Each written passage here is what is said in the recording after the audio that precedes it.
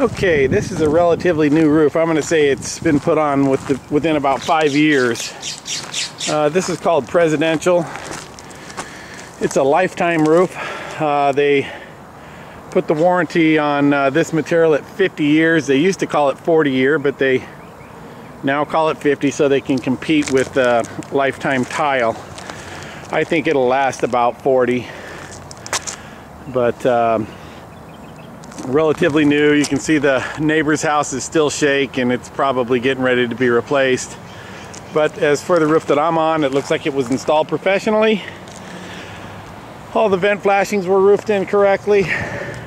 Just remember that uh, maintenance maintenance is an issue. You got to keep the trees trimmed back away from the roof to keep the critters off and keep the leaves cleaned out of your valleys and your gutters to uh, you know, help the roof shed the water the way it's supposed to.